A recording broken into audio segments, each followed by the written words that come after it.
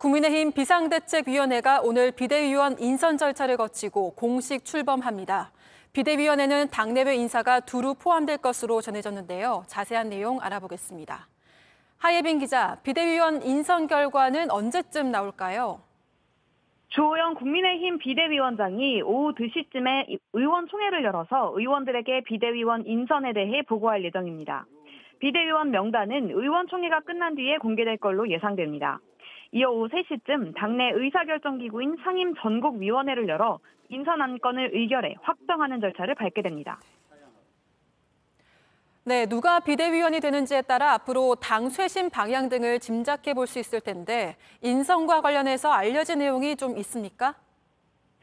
조호영 위원장은 비대위를 9명 규모로 꾸리겠다고 했었는데요. 당연직인 주 위원장 본인과 권성동 원내대표, 성일종 정책위의장 외에 나머지 6명의 명단이 발표됩니다.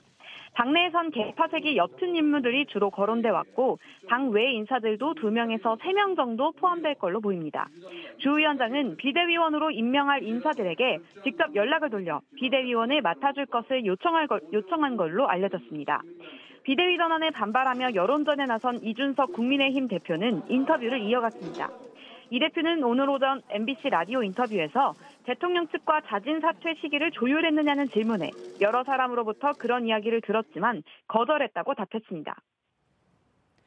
네, 내일이면 윤석열 정부가 출범한 지 100일이 됩니다. 대통령실 개편 필요성도 제기되고 있는데 윤 대통령이 직접 입장을 밝혔다면서요. 네, 그렇습니다. 윤석열 대통령이 오늘 아침 출근길 약식 기자회견 도어 스태핑에서 입장을 밝혔습니다.